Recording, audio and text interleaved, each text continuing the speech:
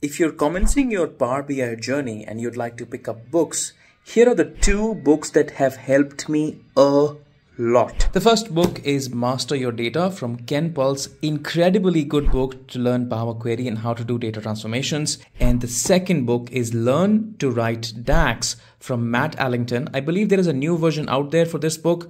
I do suggest that you pick up the newest version to be able to learn how to write good DAX and modeling.